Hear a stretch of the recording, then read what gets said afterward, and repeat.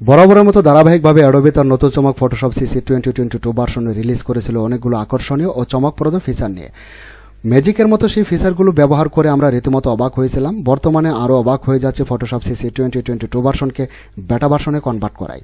এই বেটা ভার্সনের সর্বোচ্চ ম্যাজিক ফিচার অ্যাড করা হয়েছে যে বিষয়টি এখন আমরা দেখতে পাচ্ছি।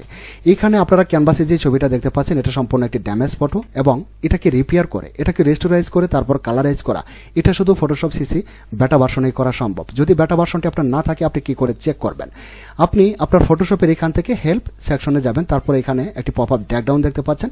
হেল্পে ক্লিক করার পর পপ আপ ড্যাকডাউন থেকে আপনি এখানে দেখতে পাচ্ছেন অ্যাবাউট ফটোশপ তো অ্যাবাউট ফটোশপে এবার ক্লিক করে দিন। দেখুন তো আপনার বাসনটি কত। আমি এখান থেকে অ্যাবাউট ফটোশপে ক্লিক করে দিলাম। ক্লিক করার পর আপনি এখানে দেখতে পাচ্ছেন, আমার ফটোশপের বাসন হচ্ছে twenty three point five point zero release বন্ধুরা, এখানে আপনাদের একটি মেসেজ দিতে চাই। আকাশি রেটিং ফটোশপ অনলাইন কোর্সে অ্যাডমিশন চলছে। আপনি মাত্র নয়শো নিরানব্বই টাকায় আকাশি রেটিং ফটোশপ অনলাইন কোর্সের সপ্তম বেসে ভর্তি হয়ে আপনি কিন্তু ফটোশপ খুব ভালোভাবে আয়ত্ত করতে পারেন।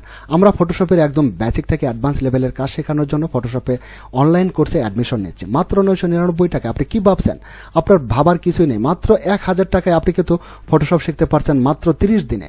আপডেট ভার্সনের জন্য আপনাকে এইখান থেকে আপডেট করে নিতে হবে। দেখুন, এইখান থেকে আপনারা দেখতে পাচ্ছেন ক্রিয়েটিভ ক্লাউড ডেস্কটপ এই লিঙ্কে আপনাকে যেতে হবে, তারপর অ্যাপস তারপর একটু নিচের দিকে আসুন, এখানে দেখতে পাচ্ছেন ব্যাটা অ্যাপস তো ব্যাটা অ্যাপসে ক্লিক করলে আপনি এদিক থেকে এই অপশনগুলি দেখতে পাবেন।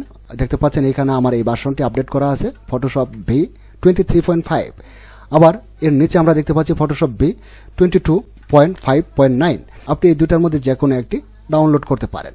তবে এটা হলো লেটেস্ট ভার্সন এদিকে আপনি দেখতে পাচ্ছেন আপডেট করা আছে।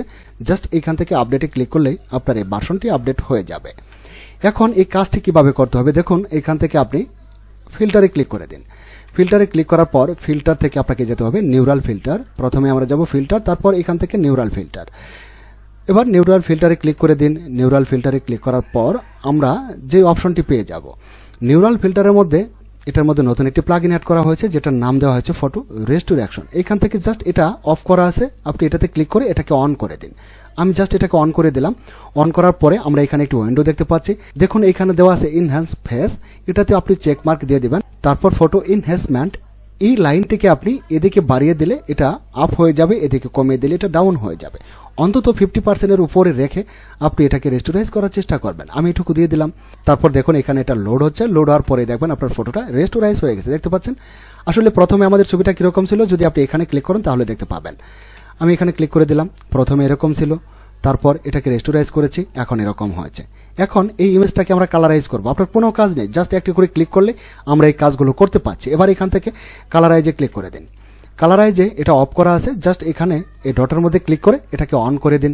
এই বাটনে ক্লিক করে দিলাম, এটা অন হয়ে গেল। দেখুন, এখানে লোড হচ্ছে এবং ছবিটা কালারাইজ হয়ে গেছে। যদি এই ছবিটাকে আপনি আরও কালারাইজ করতে চান, তাহলে এখান থেকে কালারটিকে বাড়িয়ে দিন।